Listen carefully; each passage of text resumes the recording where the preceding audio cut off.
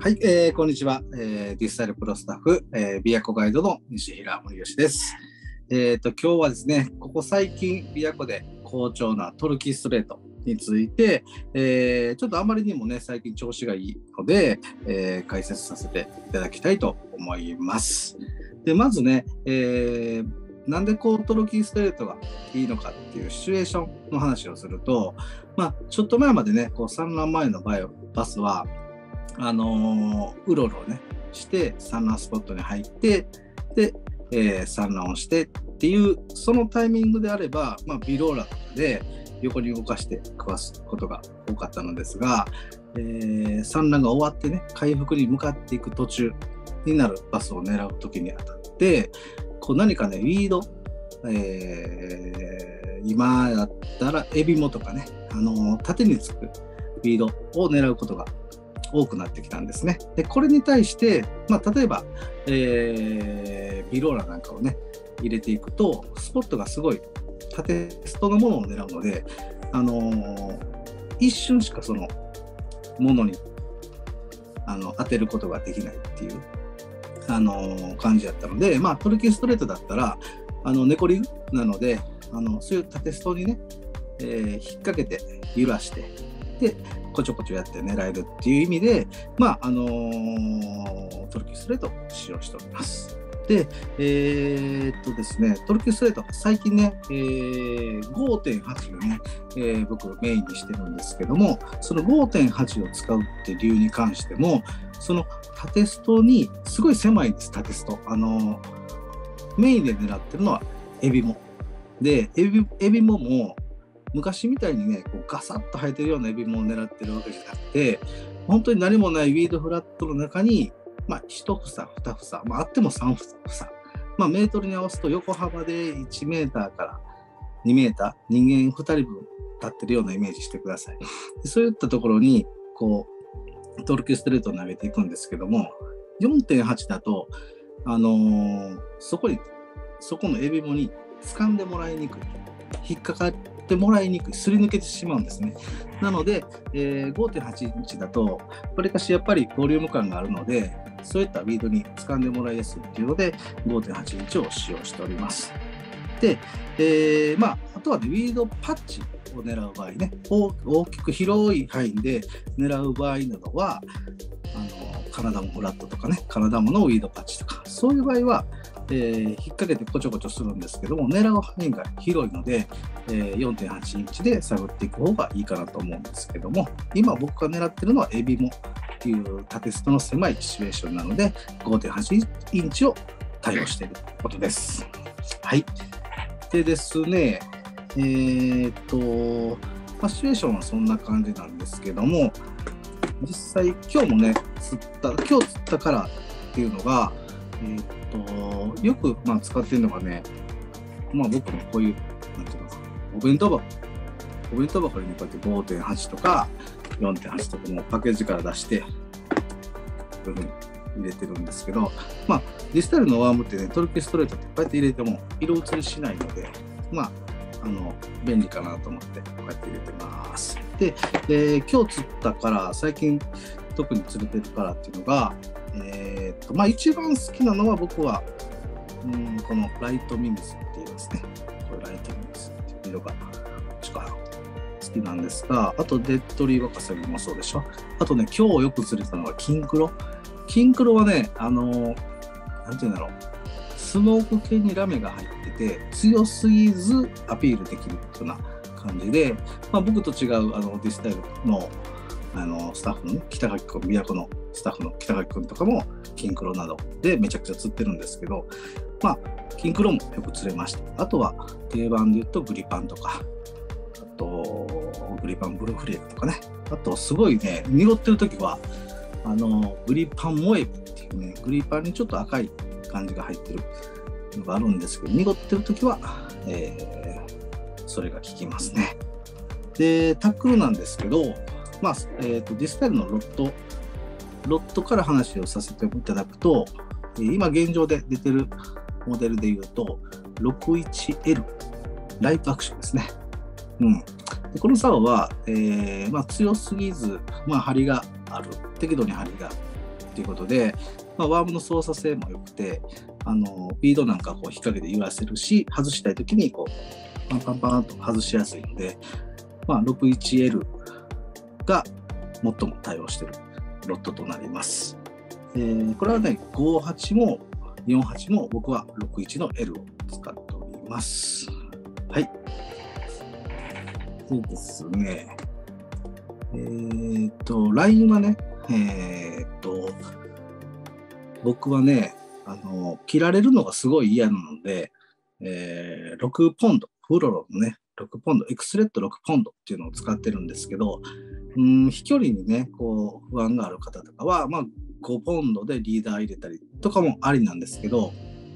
まあ、そのリーダー入れるのもめんどくさいし、僕はもう6ポンドっていう形でやっております。まあ、5.8なんかは結構ボリュームがあるので、あのー、糸が太くてもね、こう、スコーンってこう、すごく飛んでいくし、ボトムも取りやすいので、操作感がすごいあるので、使いやすいかなと思います。で、えっ、ー、とね、リールに関しては、やっぱり6ポンド負けるもの、2500番であったり、まあ、僕はコンプレックスっていうリールの F6 っていうのを、6ポンド専用石鹸のね、えー、リールを使ってるんですが、まあそんな感じです。ね。あとは、えっ、ー、と、フックサイズかな。フックサイズも結構、あの、4.8と、えー、5.8インチだったら、こう僕は変えてまして、まず4.8インチは、このパワーワッキ、かやぶささんの、このパワーワッキー2番。これは、えーと、結構太い軸のあの針で、あの琵琶湖なんかでも、なんていうかな、曲げられたり折られたりっていうのがしにくいので、パワーワッキー2番っていうのを4.8インチで使用しております。はい。それに対して5.8インチね、最近メインの5.8インチに関しては、パワーワッキーの1番ですね。まあ、こっちの方が、えー、針サイズ、副サイズは1つ大きくなります。なので、この1番とこの2番っていうのを覚えておいていただけたらいいかなと思います。はい。あと、進化ね、えー、と4.8と5.8インチだと使う進化も違います。で、えー、絶対覚えておいていただきたい進化なのですが、4.8インチに関しては 1.3g。これがベストセッティングです。あの、いろいろ進化試すんですけども、4.8インチの性能を出すと思うと 1.3g が一番僕はベストセッティングだと思います。で、対して5.8インチですね。5.8インチに関しては 1.8g。これが、えー、基本セッティングかなと思います。まあ、5.8に1.3でもいいんですけども、ちょっと軽くなっちゃうんですね。4.8インチに 0.9g とかも軽くなるので、えー、まずは基本の4.8に1.3。で、5インチ、5.8インチに1.8っていうのを覚えていただくと。で、えー、風の強さであったりとか、まあちょっと深いとこ狙うとかっていうことで、えー、重さを4.8やったら1.3から1.8に変える。5.8なら1.8から2.2に変えるっていう、このね、この2パターンですね。